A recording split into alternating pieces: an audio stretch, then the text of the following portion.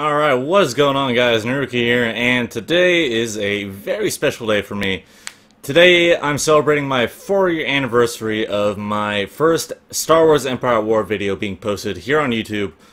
And to celebrate that, I'm going to be streaming Empire War over on Twitch now.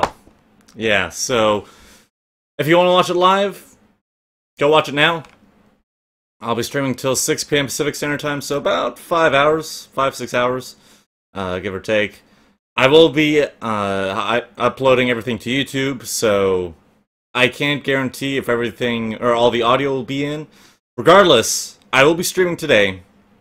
I'm actually streaming right now, and I will be streaming the rest of the week. I am going to college starting tomorrow, so I don't know how my schedule is going to change.